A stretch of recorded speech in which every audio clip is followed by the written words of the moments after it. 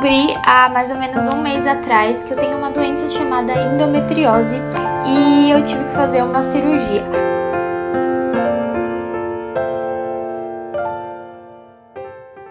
Oi, gente. Hoje é dia 6 de março. Eu tava aqui no sofá, resolvi pegar a câmera pra compartilhar com vocês esse momento que a gente tá vivendo. Não sei se vou colocar isso num vídeo um dia ou se eu vou usar, mas decidi deixar registrado. Ontem, dia 5 de março, eu e o Felipe fizemos a nossa primeira consulta com uma ginecologista especialista em reprodução. A gente foi até lá para entender melhor as nossas chances de engravidar. Como vocês sabem, eu tenho endometriose. Eu já passei por cirurgia e ontem, dia 5 de março, eu tirei o meu DIU. Saber as minhas chances reais de engravidar é, naturalmente, né? Eu precisava fazer um exame e a minha médica me disse que esse exame não poderia ser feito com o DIL para avaliar a real possibilidade a real condição das minhas trompas. Não foi assim uma dor muito forte na hora de tirar, foi bem facinho e eu senti só a cólica, né? É uma cólica bem suportável porque passa rápido, é uma dor, mas ela vem e vai. Depois eu tive bastante sangramento, eu, eu não achei que foi pouco sangramento, sabe? Eu achei que foi um sangramento bem considerável. Eu também percebi que quando eu cheguei em casa no final do dia, eu tava me sentindo muito inchada, muito inchada. Eu não tive cólicas depois, né? Só tive a cólica no momento da retirada mesmo. Desde ontem eu tô sentindo dor de cabeça, bastante dor de cabeça. Amanhã, dia 7 de março, eu vou fazer uma esterossalpingografia. Eu já sei que as minhas trompas são fortinhas. Isso eu descobri por um exame chamado ressonância magnética, que eu fiz um ano depois da minha cirurgia. Então eu já sei disso, mas esse exame eles injetam um liquidinho e esse líquido tem que passar por elas, né? Um exame que dizem que é bem chato de fazer. Tô me preparando psicologicamente para fazer esse exame e eu sabia que ia ter que passar por isso um dia, então estou preparada. Um pouco de medo, sim, considerando todo o meu histórico, né? É, a endometriose e diversas outras coisas. A partir dos 30 poderia ficar mais difícil de eu conseguir engravidar. Como eu não quero ter só um filho, a gente decidiu tirar o DIU e fazer esse exame. A gente gostaria de engravidar esse ano, sim. Oi, gente, voltei para dar updates do que tem acontecido nesses últimos dias. É, hoje é dia 16 a data da minha primeira consulta com a doutora, né, foi no dia 5.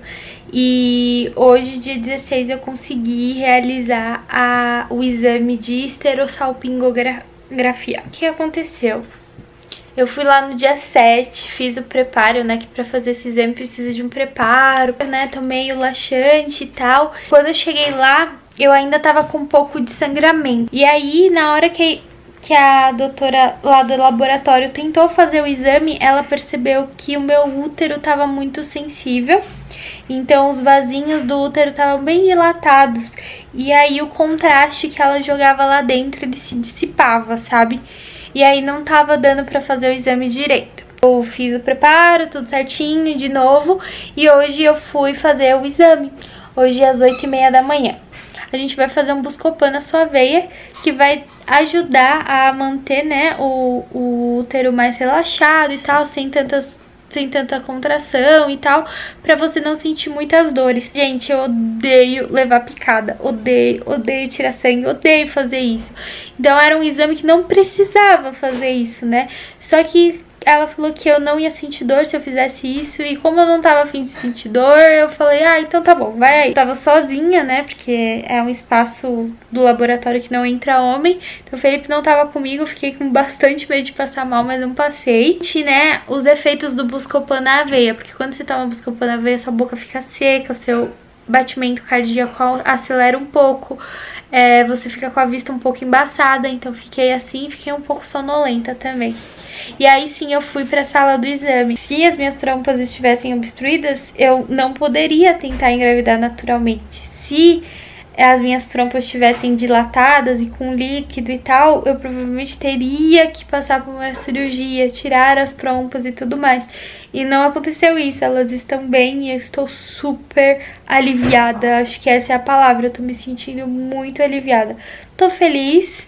Sim, sei que vai ser um longo caminho pela frente ainda. Eu tenho endometriose. Não vai ser fácil, mas tenho mais esperanças agora, sabe? Tenho mais chances. Então, é isso. Oi, gente, tudo bem? Hoje é dia 14 de junho e esse é o nosso segundo ciclo de tentativas. Esse mês algumas coisas estão diferentes, porque comprei algumas vitaminas pra tomar. Essa daqui, inclusive, que é o ômega 3, super indicada pra tentantes e tal. Esse daqui é o ômega 3 TG da Essential. Outra coisa que eu tô tomando daqui é cápsula de cúrcuma. Sabe açafrão? Pois bem, é super natural, é açafrão mesmo, cúrcuma, é uma cápsula. Assim, uma capsulinha. E aí é indicado como um anti-inflamatório, porque a cúrcuma é um anti-inflamatório natural. Como eu tenho é, endometriose, e a endometriose é uma doença... Uh, inflamatória, então eu comecei a tomar a cúrcuma. Eu fiz a cirurgia da endometriose, né, mas como eu tô sem tomar medicamento, sem... É, é, parar a menstruação, sem o DIU e tal.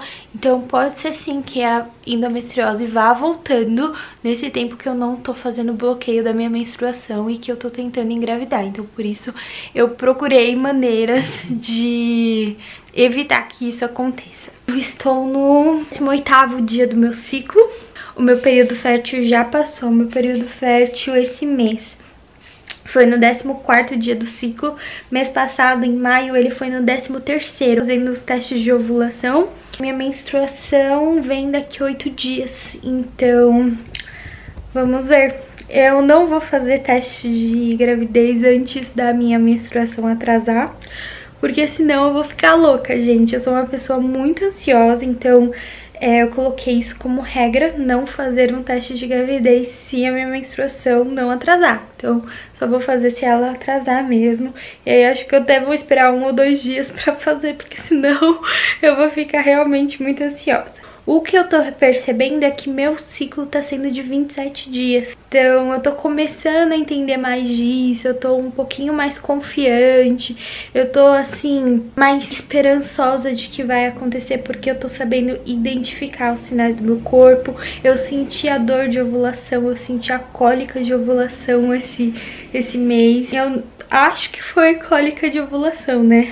Espero que tenha sido essa. Mas eu tô aprendendo a identificar alguns outros sintomas também e tal. É... Agora espera. Gente, tudo bem? Hoje é dia 7 de outubro. Não sei nem quanto tempo faz que eu não venho aqui fazer esse diário, né? É... Eu não sei onde eu parei de falar pra vocês o que aconteceu. Já fazem seis meses de tentativa. A gente já tentou por seis ciclos, né? Esse era o tempo que a nossa ginecologista, especialista em fertilidade, tinha sugerido pra gente tentar de forma natural, sem nenhum envolvimento, né? Sem, sem nenhum tratamento. E aí hoje nós voltamos lá com ela, eu e Felipe, Felipe sempre vai comigo nas consultas, sempre me acompanha. E fora isso, é, ela tinha me passado uns exames das, da vez que eu tinha ido lá atrás para eu fazer já nessa época, né? Quando chegasse mais ou menos em setembro, outubro. E aí eu já tinha feito e levei para ela os exames também. Os exames que eu tinha feito era do antimoleriano, que eu fiz lá seis meses atrás, que ele tinha dado 1.4 1.43, acho que era isso. E agora eu refiz e o resultado dele foi 1.34. Que é o normal para uma mulher de 27 anos seria mais de 3, 2 e pouco, já era um, um número ok. Mas o meu tá 1 ponto alguma coisa. Eu fiquei bem assustada, na verdade, porque não foi um resultado legal. Esses exames hormonais FSH, que é um dos critérios também que eles olham para avaliar a reserva ovariana e tudo mais, e eles também não foram muito legais. Aí o que a doutora nos sugeriu, e foi o intuito da gente ir até lá na consulta, para ver o que a gente poderia fazer a partir de agora, né? Se tinha algum tratamento, alguma coisa que a gente pudesse fazer. E o que ela falou foi que ela sugere pra gente partir logo pra uma FIV, porque com o meu histórico de endometriose, eu posso, possivelmente posso ter adenomiose também, e com o estado atual das minhas trompas, né? É, lembra que eu falei pra vocês que o resultado do exame, do exame das trompas não foi assim 100%, mas também não foi ruim? E foi isso que motivou a gente a tentar por esse tempo, de forma natural. Então ela falou que por esse, esse diagnóstico ela sugeria que a gente fizesse direto uma FIV. Aí que, que eu fiquei meio chateada, porque eu queria que existisse outra possibilidade, eu queria que existisse outros meios da gente continuar tentando naturalmente. Eu não estou assim 100% confortável fazer uma FIV. Claro, eu acho que se você tá tentando por oito anos e você não engravidou ainda, qualquer, qualquer coisa que faça você é, poder realizar o seu sonho, você vai fazer isso. Realmente queria engravidar de forma natural.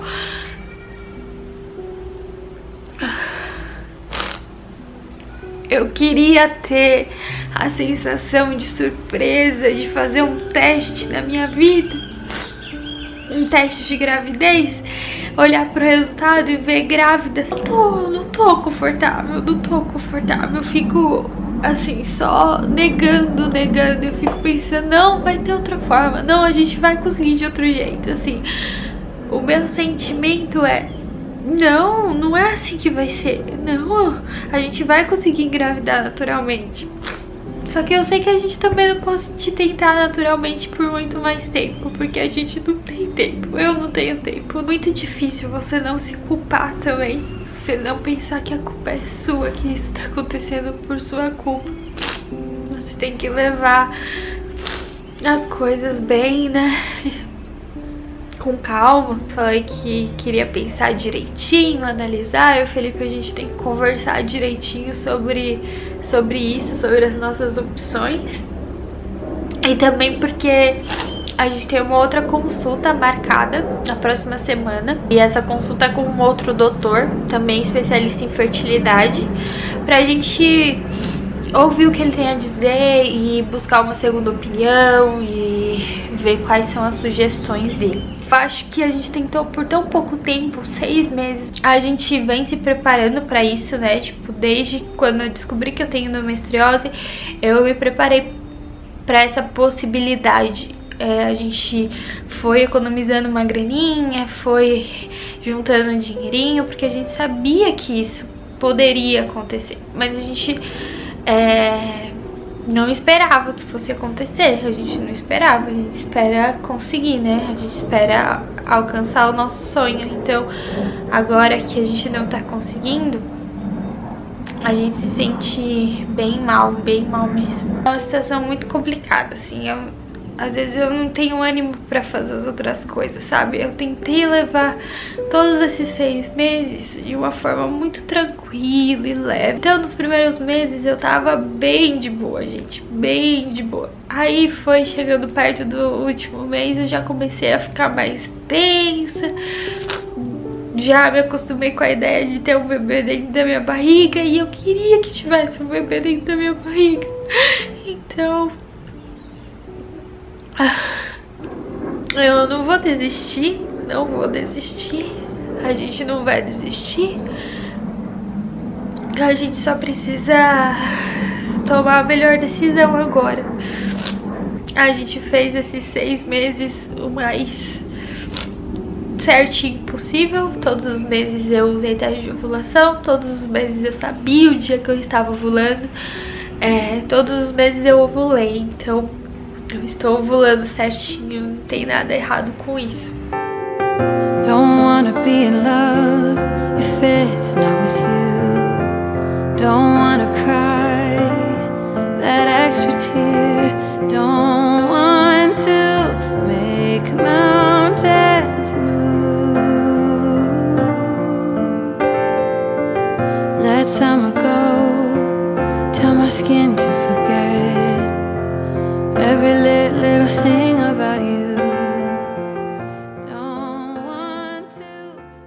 Oi, gente, mais um diário aqui das nossas tentativas de gravidez.